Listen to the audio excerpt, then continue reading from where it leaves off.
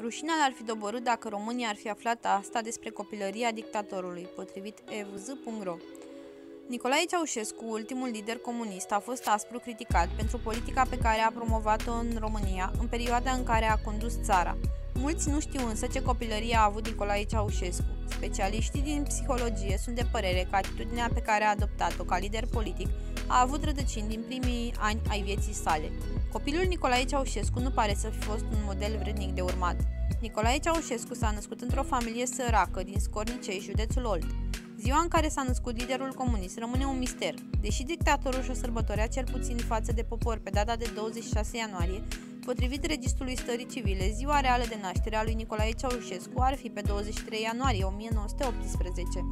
Ultimul lider comunist al României a fost al treilea copil adus pe lume într-o familie formată de 12 membri, doi părinți și 10 copii.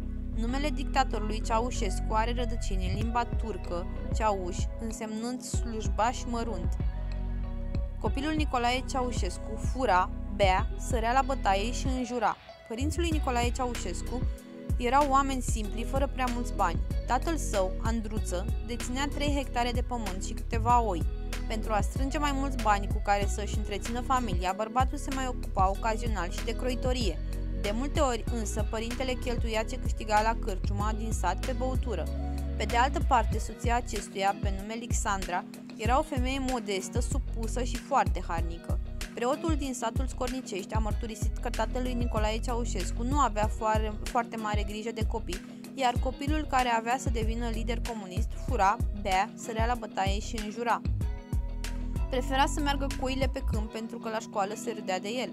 Nicolae Ceaușescu a fost la școală doar cât să absolve patru clase și nu a avut cărți. De cele mai multe ori parcurgea drumul de acasă la instituția de învățământ pe jos, desculți și nu ar fi avut foarte mulți prieteni, întrucât era foarte nervos și irascibil. Nicolae Ceaușescu avea din naștere un defect în vorbire, astfel încât prefera să stea cu oile pe câmp decât să meargă la școală pentru că ceilalți copii râdeau de el. În altă ordine de idei, familia Ceaușescu trăia într-o locuință mică, cu doar două camere. Copilăria lui Nicolae Ceaușescu nu a fost ca cea a minorilor din ziua de azi. În general, la masă, atât copiii și, cât și părinții mâncau mămăligă cu lapte. Aceasta se servea la o masă mică de lemn. Mama lui Ceaușescu gătea într-un fel de șemineu. Aveau două camere cu pământ pe jos, se adunau toți în jurul unei mese mici de lemn, mâncau lapte cu mămăligă. Erau foarte săraci și erau zece frați. Unul a murit din pruncie, a povestit Marius Marinescu, un apropiat al familiei dictatorului comunist, potrivit știrile din lume.ro.